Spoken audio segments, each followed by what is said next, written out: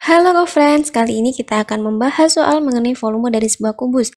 Nah, jadi di sini diketahui sebuah kubus mempunyai panjang sisi 14 cm. Kita gambarkan di sini ada sebuah kubus di mana panjang sisi di sini itu sama dengan rusuk.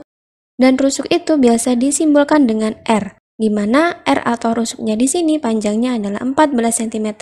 Kemudian yang ditanyakan adalah volume. Rumus untuk mencari volume kubus adalah rusuk dikali rusuk dikali rusuk atau R dikali R dikali R.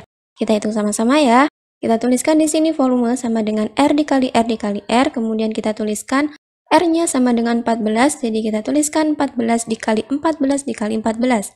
Yang pertama, kita kalikan 14 dengan 14. 4 dikali 4 hasilnya adalah 16, kita tuliskan angka satuannya, kemudian kita simpan angka puluhannya. Kemudian 1 kita kalikan dengan 4.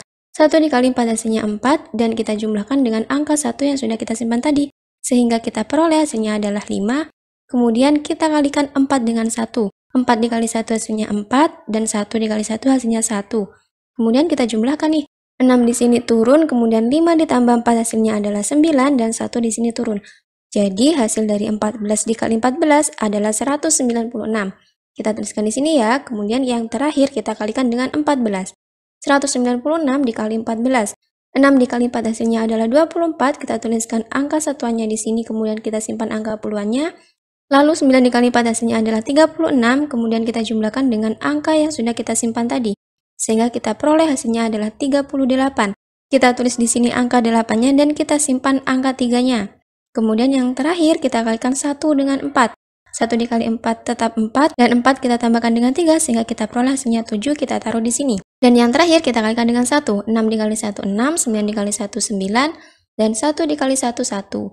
Kemudian kita jumlahkan, 4 di sini turun, 8 ditambah 6 hasilnya 14, kita tuliskan 4 dan kita simpan angka satunya. Kemudian kita jumlahkan 7 dengan 9, 7 ditambah 9 hasilnya 16, dan 16 kita tambahkan dengan 1.